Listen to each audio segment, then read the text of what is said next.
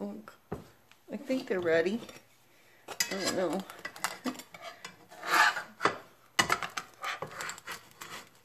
What are they? They're. Pull the pan away.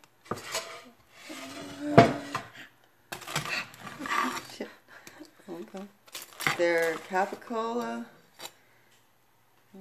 cream cheese, and capicola, and and um. We'll dig in, everybody. Help yourself.